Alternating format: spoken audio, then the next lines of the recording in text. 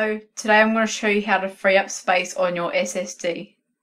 First, go to recycling bin, right click and select properties. See how your local disk C will be selected and is where the recycling bin is stored. Use custom size. The maximum size is in megabytes. By default is probably a gigabyte, but you can make it to 500 megabytes which is half a gigabyte I just have it to 100 because that's enough for me and it will save you some space. But warning, don't select this because all your files will be deleted and apply.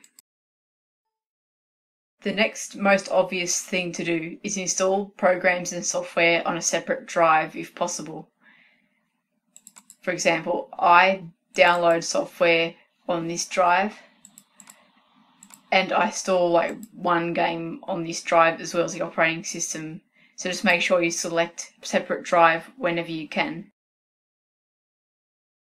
Another way to significantly save space is to disable the hibernation feature. To do this, go to the star button and type CMD. Press enter. Now, type power cfg.exe space slash hibernate off. Now it won't do anything for me because I've already done it, but it will work for you. You may have to run as administrator before this feature would work, so I will do it again as an administrator.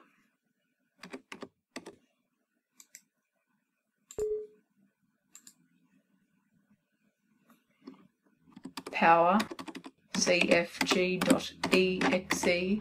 space slash hibernate off.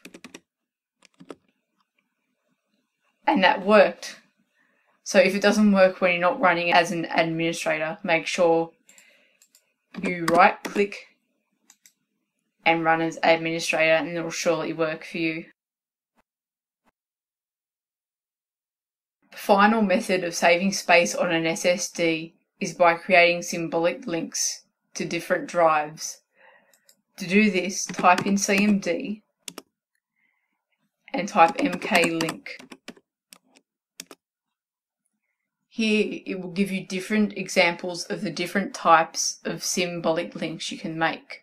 For example, if I want to store test onto drive D and it was originally on drive C, I will have to input desired location first after typing mklink again.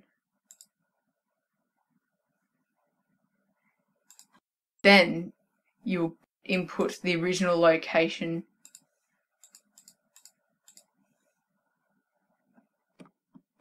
Space and paste that.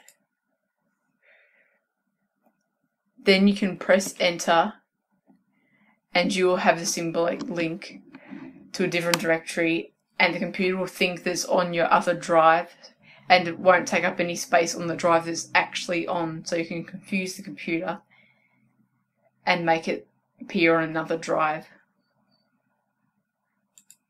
So these are a few ways of saving space on an SSD. Thanks for watching.